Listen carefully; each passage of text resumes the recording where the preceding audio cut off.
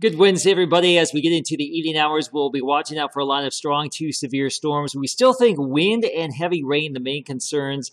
Hail and the tornado threat is going to remain on the low end of the spectrum, we still think. And we'll continue to monitor things as this line of storms comes on in. Any bow or kink in this line could pose a little bit of a tornado threat. But let me show you a future cast. We have this wave of storms that will be coming on in probably after 7.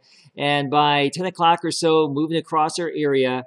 By midnight, we still have some of that. It could begin to fall apart as it approaches eastern Mississippi and the Alabama border, but there could be a second little bass that tries to get going on the uh, back side of it, right along the actual cold front. So uh, we'll see how that plays out as we go throughout the overnight hours. That second wave could be a little bit weaker than the first one, but we'll monitor that, monitor that all night long as we go throughout the course of this event. On the back side of it for Thursday, we break out back into the sunshine, upper 70s 70s, low 80s. It will be breezy. We'll have another chance for some strong to severe storms Friday night and Saturday morning. We'll have more on that on WCBI News tonight, and of course, more details over at WCBI.com/weather.